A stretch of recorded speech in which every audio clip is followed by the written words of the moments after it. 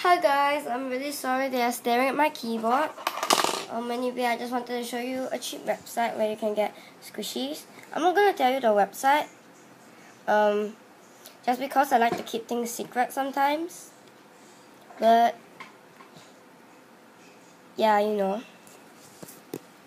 So, you can get all these squishies at such a cheap price, but you do have to get a minimum order and it's like sorry if my iPad is very shaky.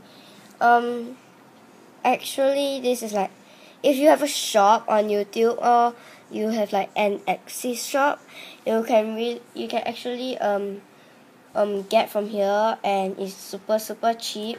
Like um this donut like 60 cents for it's like 60 cents for a piece and 30 and you must get at least 30 pieces. And let me just do the calculation for you. I really like to make things specific. So 60 times 30 you will get so it'll be $18 just for 30 pieces of donut species which is really a good price to pay. If you in my opinion it's a really good price. And it's 38 cents for um, one piece. And that's actually quite awesome. Except the fact that you have to buy a lot. And if people don't buy you're kind of wasting your money. Yeah I hope you have enjoyed this video. And if you do want to know the website I guess I can tell you. But you know I just showed you just now. And Anyway, if you didn't see it, um, I guess I can tell you, but you must PM me on where you can get Rilakkuma squishies or rare squishies at cheap prices as well.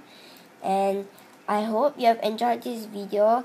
And I really don't mean to be mean or anything like like I really really really really um want to know where to get Rilakkuma squishy and rare squishies Oh yeah, and if you can, can you please tell me where you can get um Redo squishies?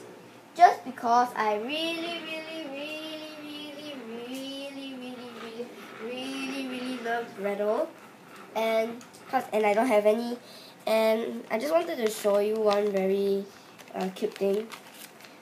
Um, I have this like quite big Hello Kitty baggies, and I just wanted to try and I could fit my Stitch squishy inside it.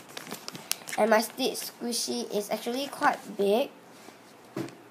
But okay I'll take the squishy out.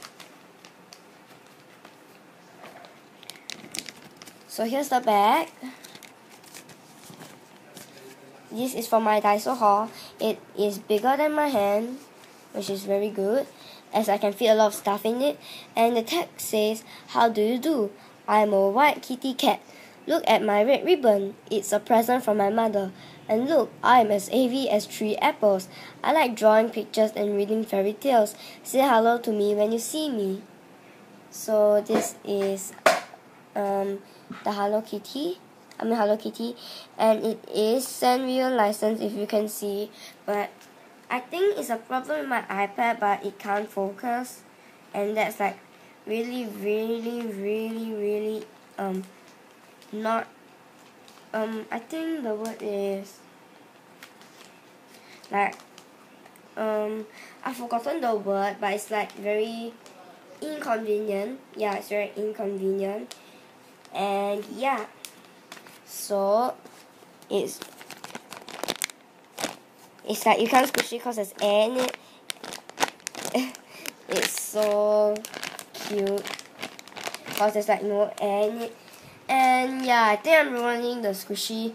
Comment um down below to say if you have tried this and whether it spoils the squishy. Um, and yeah, thank you. Bye.